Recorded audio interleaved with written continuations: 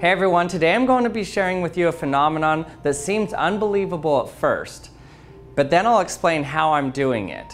What if I told you that I can move this quarter into the cup without touching it? The video's playing in forward motion, not in reverse, no camera trickery going on whatsoever.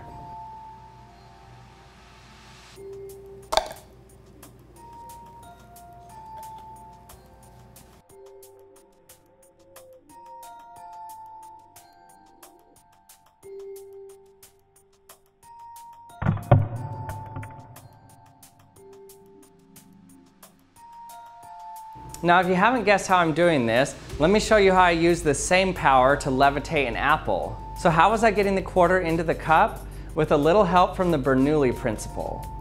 So in the Bernoulli principle, it states that whenever you have a fluid that's moving fast, the pressure is reduced. So all I did in order to reduce the pressure above the coin was to just blow over it really fast.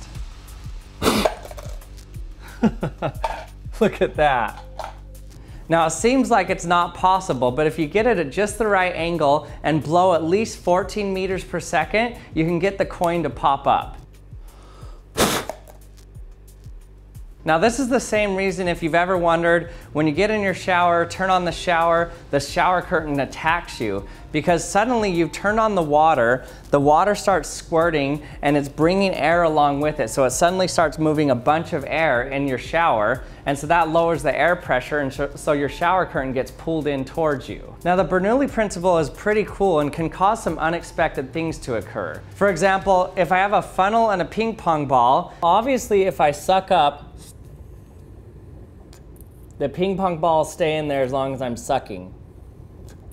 But what about if I blow out? Will it still come out? Let's try it.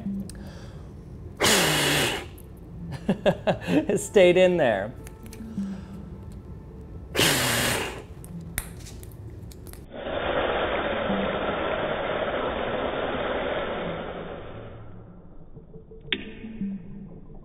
For example, this Bernoulli principle is the same reason why when you put a ping pong ball in some flowing water, it sticks to the water.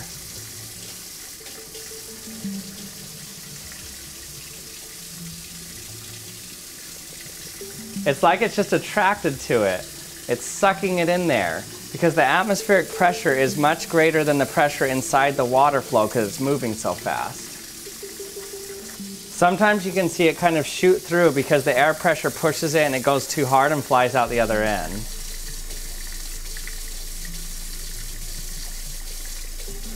And then it holds it. Now what's interesting about this is you can do it with almost all the US coins.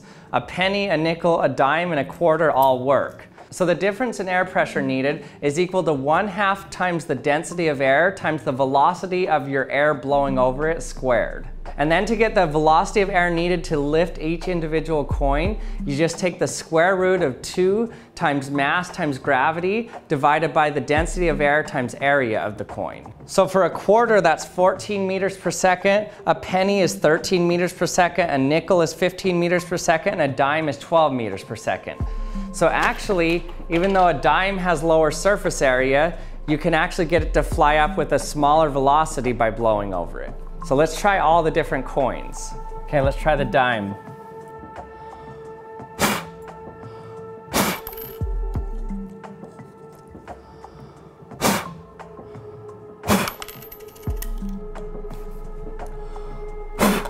There we go. That dime really popped up. Let's try the nickel.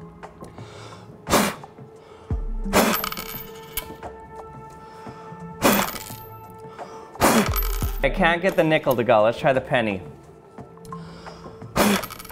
Oh, that one's not too bad.